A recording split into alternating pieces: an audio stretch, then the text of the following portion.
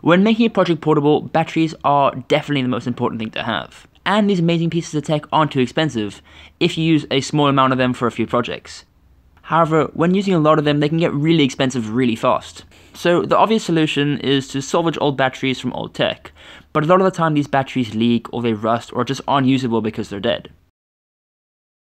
So in this video we're going to take a look at where to find them, which ones are usable, and how to get them up and running again. The type of rechargeable battery we're looking for is lithium ion and lithium polymer. There are some slight differences between these two, but I'll talk more about that in just a second. We want to avoid other common batteries like alkaline, which is non-rechargeable and used in small electronics like remotes, and lead acid, which is rechargeable but mostly used in cars. Lithium ion batteries and lithium polymer batteries are pretty similar as they have very similar max charge cycles and very similar average voltages. Lithium has 3.6 and lithium polymer has 3.7 volts. And are found in a lot of consumer electronics such as laptops, phones, portable speakers. In fact, they are found in pretty much any electronic device that advertises itself as portable. This means finding them for cheap or even free is often really, really easy. I try to avoid these small devices though because they normally have tiny batteries that have a tiny milliamp hour rating. Milliamp hours are basically how many milliamps your battery can supply for an hour. So for example, this battery has 1000 milliamp hours, which means it can supply 1000 milliamps for an hour. So if you're powering a device that draws 100 milliamps with this battery, you could run it for about 10 hours. So, when I'm looking for lithium batteries, I always look for old laptops, as these have the highest quality battery brands and the most cells within them. This is because most laptops typically operate at about 12 volts, or something pretty close to that. And as we now know, lithium cells operate at about 3.7 volts. Meaning, three cells have to be put in series to add up to 11.1 volts, which can be used to power the laptop. But three cells normally isn't enough for the laptop, so they use six. These six can still produce 11.1 volts because the six batteries are divided into three couples. Each of these couples are connected in parallel, which keeps the voltage at 3.7. Then the three couples are connected to each other in series, which produces 11.1 volts. What I'm trying to say is you'll typically find six batteries in a laptop, which is pretty good. So let's crack one of these open. Pull the battery out of your laptop, they're normally removable for the older ones. You should see a seam around the battery, wedge a screw in there and carefully pry it apart. This is definitely the worst part because manufacturers make it super difficult by adding excess amounts of glue. Anyway, once we got to the part, we need to carefully pull the battery pack out of its casing.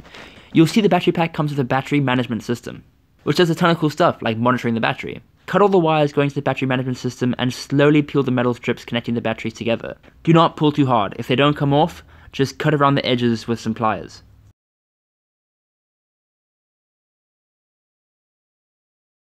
I found it easier to do this in big batches, so I gathered a lot of battery packs and tore them all apart. Tearing batteries apart is surprisingly calming. I didn't mention this before, but finding these old laptop batteries is really, really easy. I got most of mine from an e-waste facility for really cheap, and the rest came from family and friends who had had laptops for like over 10 years. Once we got all the batteries out, we want to start looking for which ones are fully functional, which ones are dead, and which ones are nearly dead. We do this with a multimeter. If one of the batteries shows a voltage lower than 2.8 volts, we're going to want to avoid it, as this means it's over discharged or dead, as lithium should never discharge lower than 3 volts, and should not charge higher than 4.2 volts. If a battery has a voltage lower than 1 volt, it's definitely dead and should be disposed of at a battery recycling place. Now we should have a bunch of batteries, a pack of, mm, a gathering of batteries. Now we should have a group of cells. Actually, speaking of which, we should be calling these cells not batteries, as batteries are defined as a collection of cells, and these 18650s are just one cell. These things are batteries, these things are cells.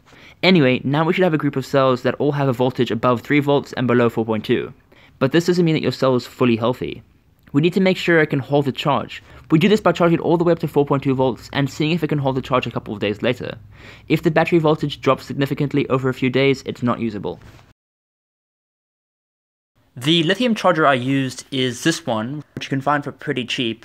The reason I like this one is because it has overcharge protection and over discharge protection, meaning it won't let the battery discharge to under 3 volts and it won't let it overcharge over 4.2, which is really nice. Now the laptop batteries I've been taking apart so far are pretty old. Now you'll find in most older laptops they use 18650 cells, which are these cylinder ones. Now these 18650 cells are lithium ion and they're pretty great, but you'll find with most newer laptops that are thinner than these that they use lithium polymer.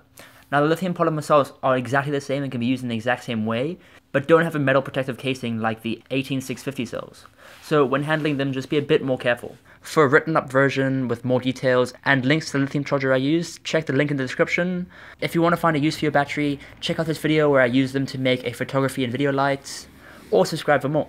Thanks so much for watching.